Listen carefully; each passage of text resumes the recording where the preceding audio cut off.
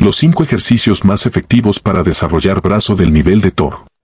Lo básico que tienes que saber es que, para ganar fuerza en los brazos, el mejor camino es optar por ejercicios globales o poliarticulares. Como dominadas o press de banca, que implican varias articulaciones. Pero si quieres trabajar de manera más aislada, te decimos que puedes hacer. Curl de bíceps con barra recta La técnica es importante para sacar el máximo partido y activación del bíceps, porque es un ejercicio de aislamiento.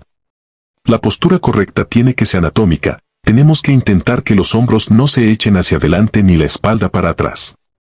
La concentración es esencial, y no hay prisa. Aprieta el glúteo y el abdomen para ganar equilibrio y estabilidad. Así no nos lesionaremos la espalda. Fondos de tríceps en paralelas ojo con este, porque es un maestro para que luego hagas una técnica estupenda en tras banca, tras militar u otros ejercicios no tan seguros o que dependen más de ti sin el apoyo de una máquina.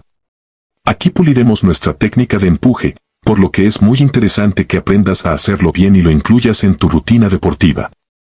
Tras francés hablamos de un ejercicio que lo llaman rompecráneos como mote cariñoso, es sustituible por el anterior. Si no lo haces bien, puedes hacerte daño en los codos, así que si estos no están sanos como una manzana, mejor que prescindas de él. En vez de barra recta o en Z, opta por un agarre neutro o mancuernas.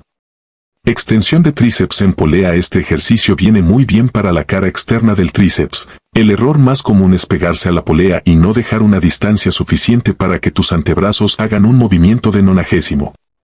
Estos tienen que estar ligeramente en diagonal para que haga una tensión en los tríceps. Dominadas con agarre supino son aquellas que se hacen con las palmas hacia arriba, son uno de los mejores ejercicios para bíceps.